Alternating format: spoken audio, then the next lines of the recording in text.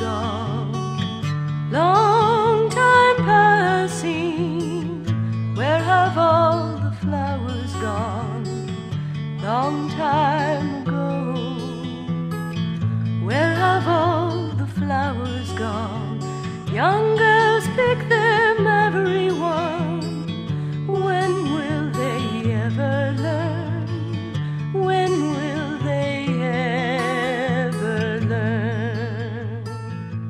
Si è svolta questa mattina presso la Sala dei Baroni al Maschio Angioino l'iniziativa 100 passi verso il 21 marzo, volti, azioni, testimonianze e impegni, organizzato dall'assessorato ai giovani nell'ambito del ciclo di incontri in vista della ventitresima giornata della memoria e dell'impegno in ricordo delle vittime innocenti delle mafie.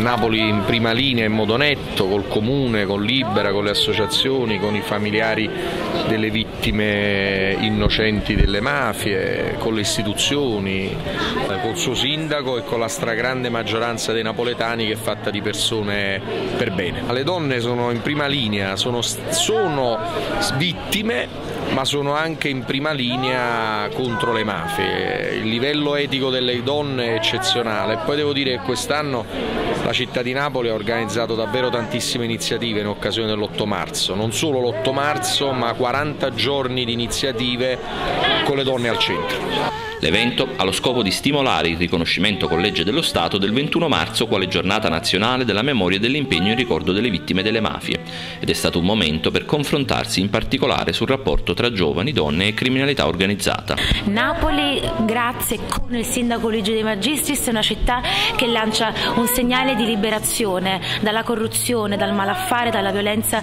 delle camorre e lo facciamo dando vita ad una giornata cittadina per partecipare a un importante riconoscimento nazionale, la giornata del 21 marzo, per anni promossa da Libera in centinaia di città e di piazze italiane e dall'anno scorso giornata nazionale riconosciuta con legge dello Stato. Oggi quindi noi apriamo il Mascangioino e la Sala dei Baroni alle testimonianze dei familiari e daremo vita ad una riflessione su come le donne e i giovani possono e debbano essere sottratti a quell'ignoranza che diventa la benzina delle organizzazioni criminali, insieme alla povertà, insieme alla disoccupazione insieme alla disperazione, insieme all'assenza di opportunità. Durante l'incontro è stato dedicato anche ampio spazio alle testimonianze e ai racconti dei familiari delle vittime delle mafie.